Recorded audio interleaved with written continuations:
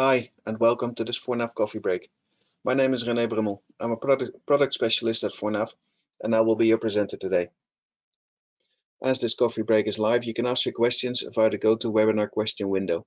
We will answer them at the end of the coffee break.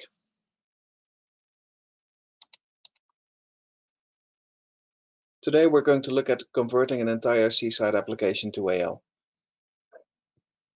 The ForNAV converter can convert any type of Business Central object, not just reports. Moreover, it's completely free to use. To demonstrate this conversion, we'll use a few C/SIDE objects created just for this purpose and convert them to Business Central on-premise. However, this conversion process works for both on-premise and cloud extensions. To demonstrate converting an entire applic application to AL, I'm going to use these steps. Prerequisites, what do I need to get going? In step two, I will export my C/SIDE objects.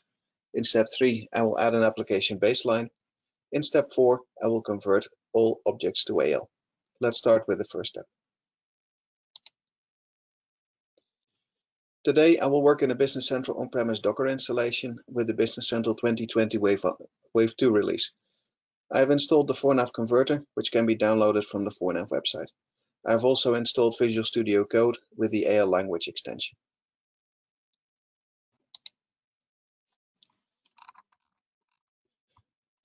The first thing we need to do is export our C/SIDE objects to a text file.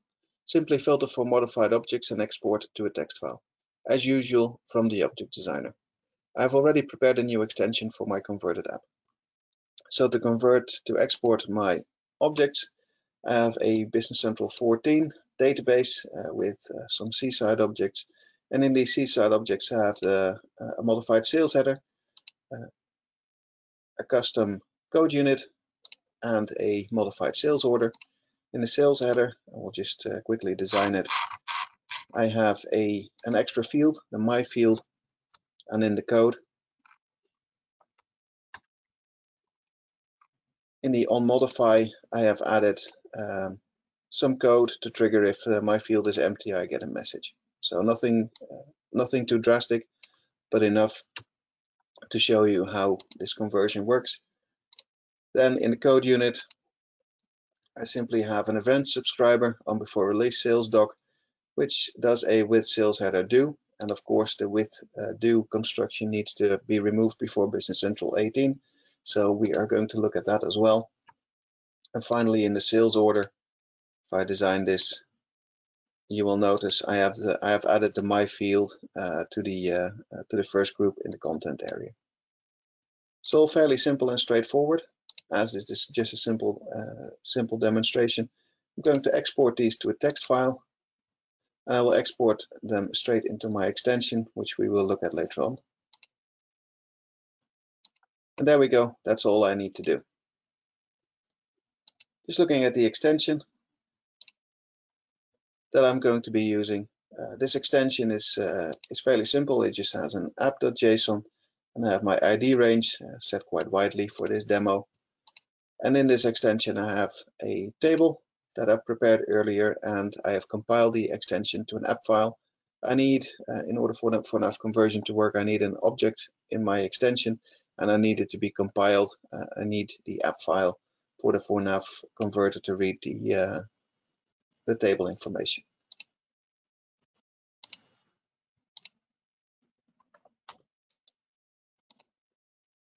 After we have exported our modified objects, we also need to create an application baseline. This will serve as a comparison so the conversion can separate modified objects to extensions. You can do this by simply opening a standard database of the same version you are converting and exporting all objects to a text file. As this is a time-consuming process, I've prepared this earlier. I've just opened the BC uh, standard Business Central application in the Object Designer, exported all objects to a text file. And what I ended up with is this. If I open this, you will notice it is simply a text file which contains all of the objects in Business Central.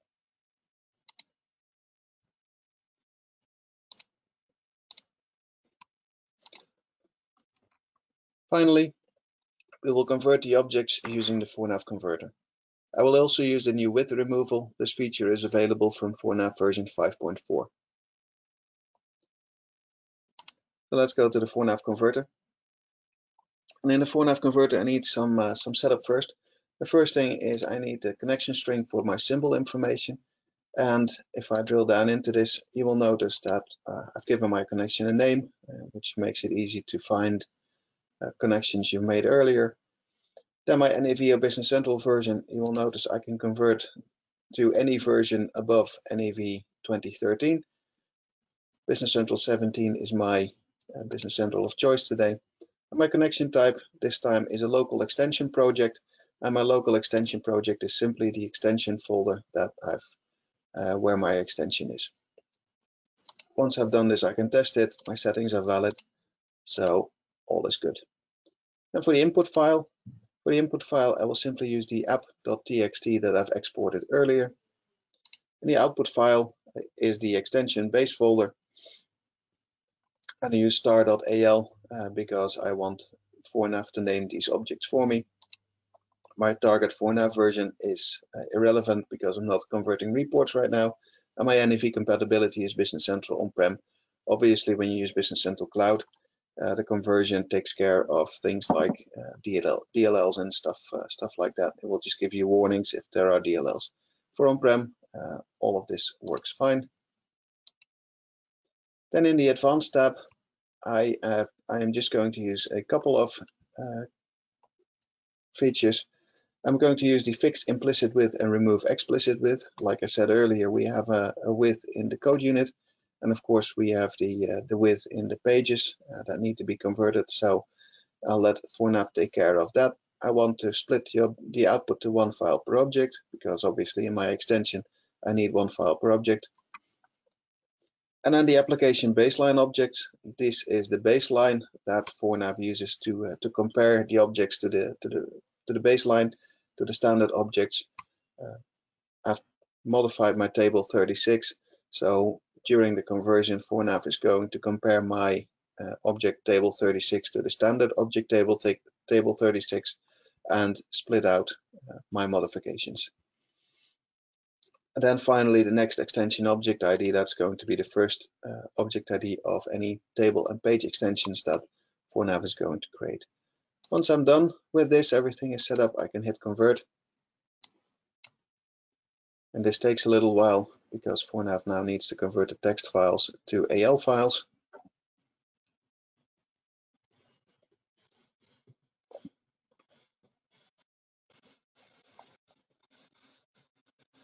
And once that's done, I can view the log.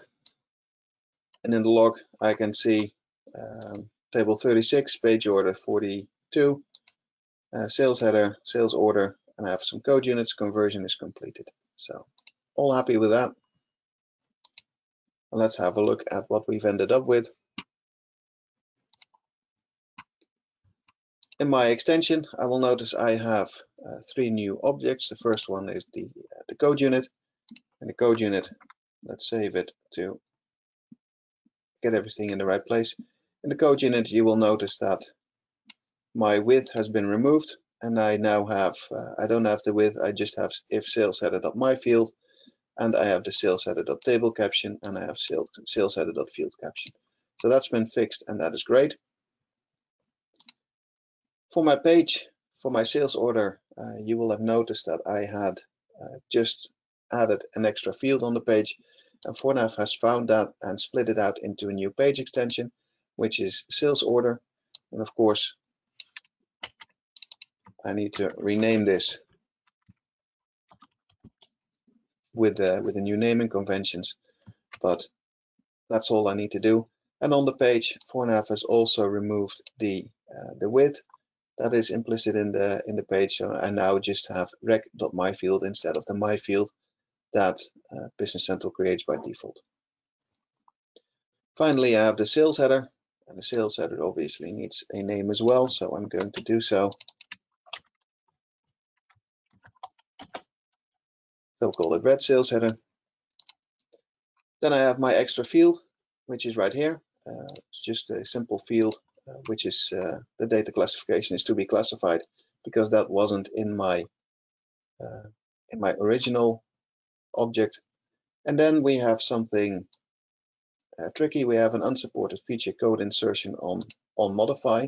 The problem with these on modify triggers is that we have a number of ways to use these unmodified triggers in uh, in Business Central table extensions.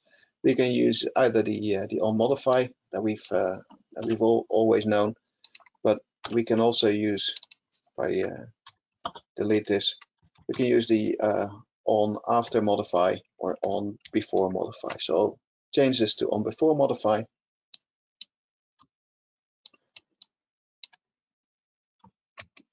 And let's save my code.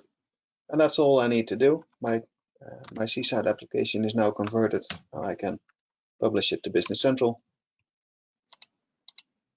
which brings up my Business Central Docker, Docker image.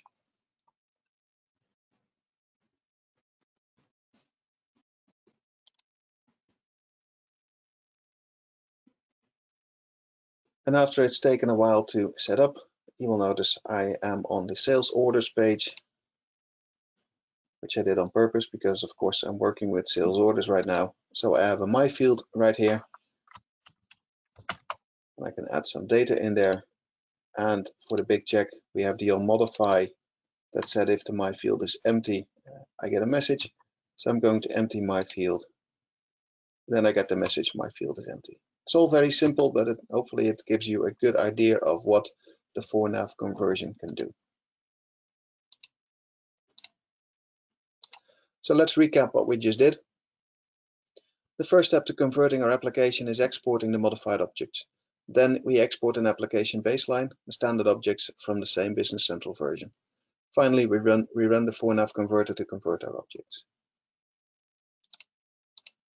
Thank you for listening to, to me so far. I see we have no questions at the moment. If you do have any questions, please let us know and we will uh, answer them before the end of the webinar. If you want to know more about ForNAV or download ForNAV, please visit the ForNAV website. If you want to use ForNAV in Business Central Cloud, you can download it from the Microsoft App Source. And if you want to watch more of these videos, uh, please visit the ForNAV YouTube channel. And if you have any questions after this webinar is over, uh, please send them to support at ForNAV.com.